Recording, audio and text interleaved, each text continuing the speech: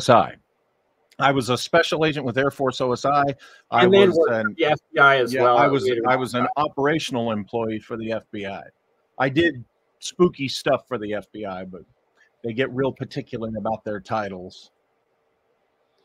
actually an investigator for the Air Force. That uh, could be, if you're a lot, not under NDA or can mention a little bit. Uh, compared with the FBI, you said you did a little spooky stuff there. Which one was more spooky or uh, more intensive things that you covered? Oh, the Air Force, um, and that's in the realm of um, technology, of course. Um, as with the FBI, it was pretty much um, working against the uh, KGB and the GRU, um, and occasionally the Chinese service. But um, once I got into the Air Force, that involved technology. Well, and that's uh, what we're all about, especially with APEC, Alternative Propulsion Engineering Conference, that uh, Jeremy is a co founder of, that uh, I'm a co host of, and that the philosophy is disclosure through technology and bringing this technology out.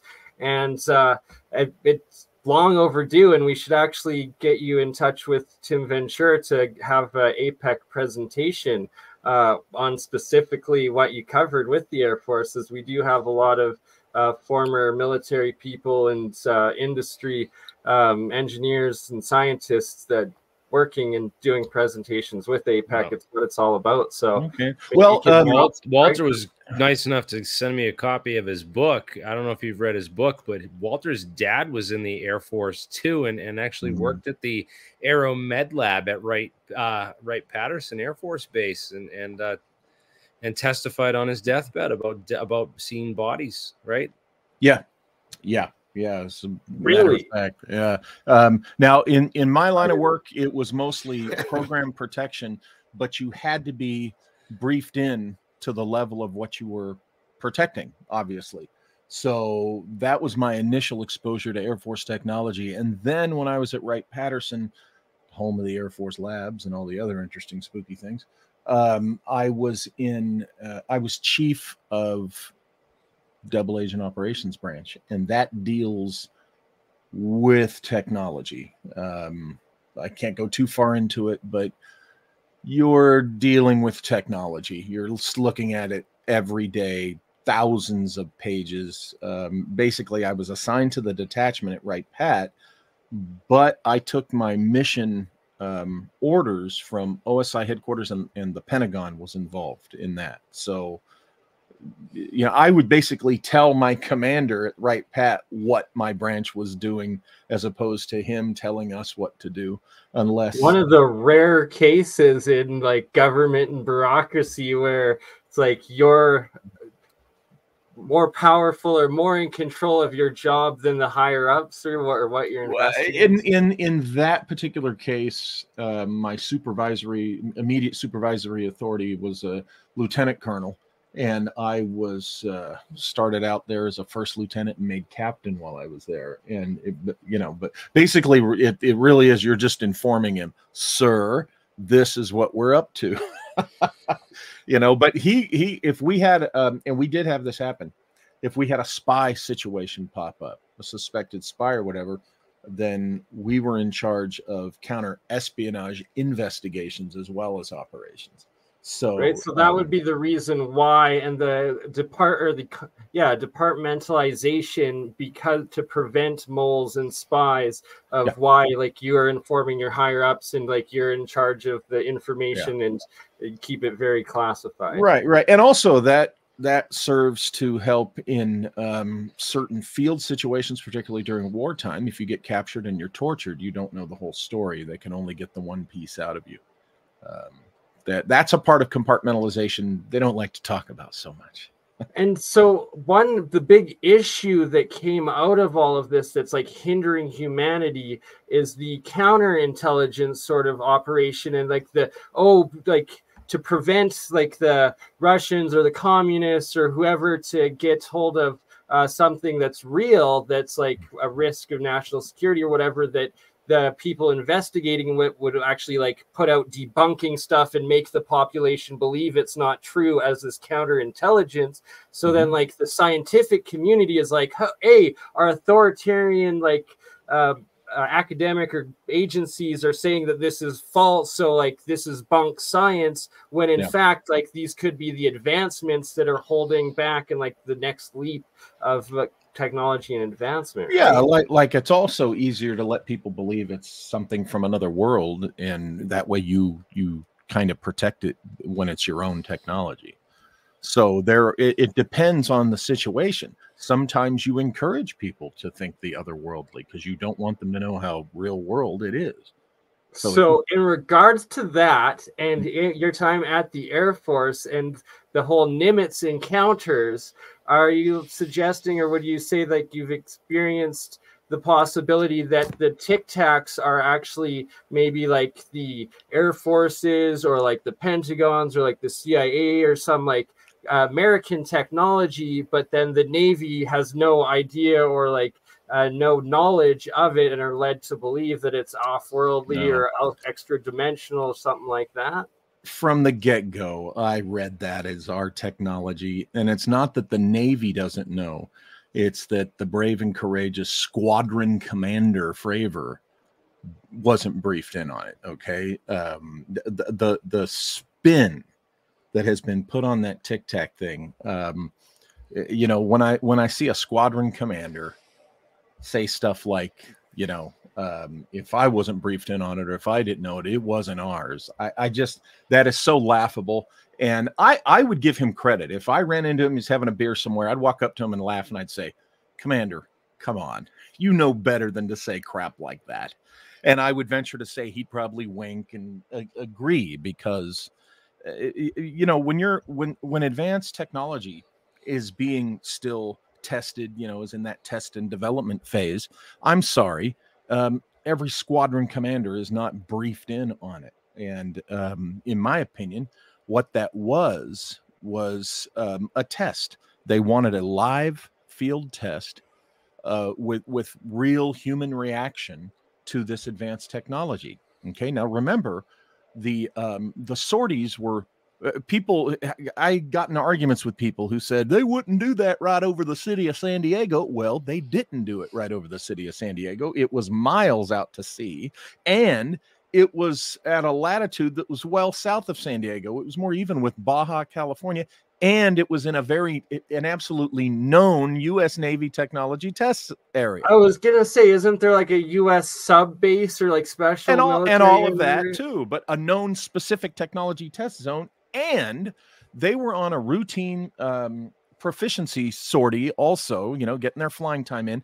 Those planes were not armed. Okay, so when you want a real world reaction to something extraordinary you're going to throw that at your personnel under those circumstances where no, no destruction can be wrought, no one can be hurt, so that you can get a real human reaction. Now, let's not forget that there were witnesses on those ships that also said two Air Force guys that they referred to as intelligence officers showed up on board and confiscated the um, the modules from the you know the consoles or whatever from the the yes uh, uh, radar Kevin stuff. Day Kevin Day, um, he was the radar operator of either on the Nimitz or on the Aegis destroyer, uh, and he was did an APEC uh, conference presentation. He he testified and stated to that, and like how ticked off they were about that, and how quickly that happened, and like literally, yeah. like he said, Black Hawk helicopters, like with people in black suits,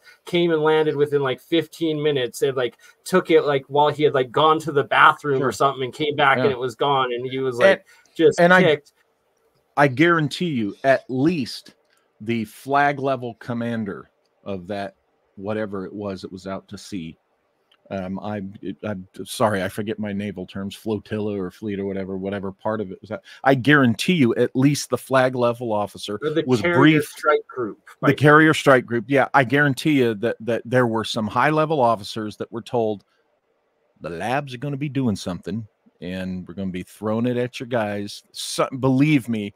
And and besides, the commander of that vessel that the Air Force guys showed up to take stuff, there's no way that commander is just going to allow these unknown guys to show up and take anything off of his vessel.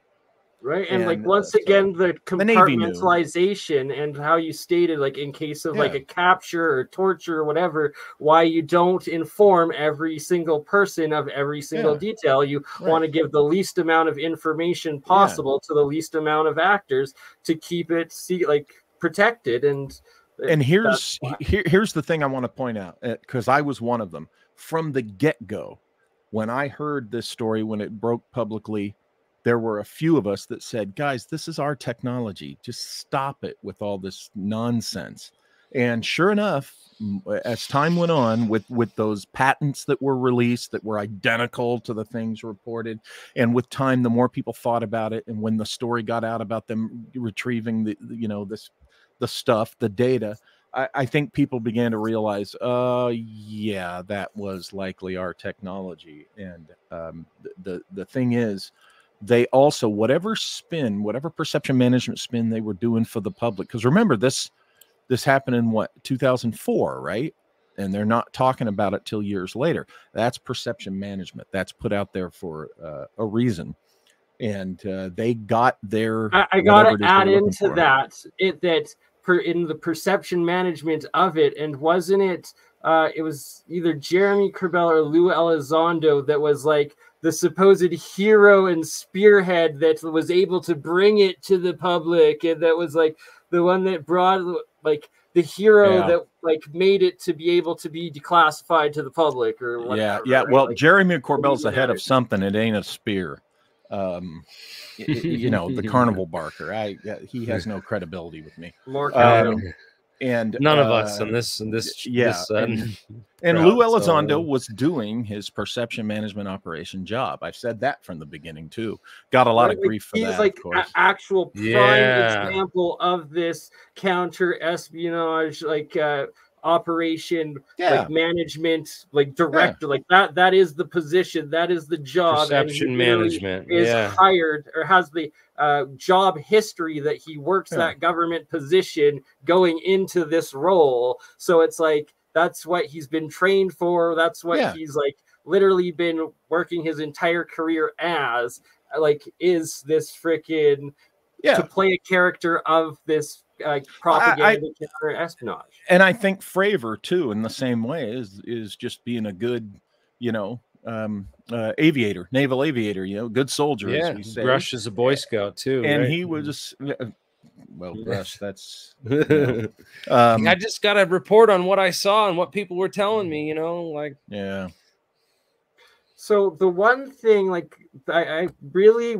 would love to get know, Kevin man. Day back for a second interview because he, it, he it, it just he moved me in like believe like believing his genuine experience of what he stated there and that he believed that he experienced like a almost telekinetic or connection or like some sort of um like act yeah like essentially a conscious connect with the operator of the tic tac and that at one point and like stated that he believed that it was like off-worldly or coming or something and like that he genuinely went through that eh, but then to for the count counter or another possibility uh, going into Eric Hecker from uh, that I've interviewed several times, and we just did a recent one. He's the whistleblower Mhm. from Antarctica that worked Mhm. with Raytheon for a year down there, and that he is Mhm. putting forth evidence and claims that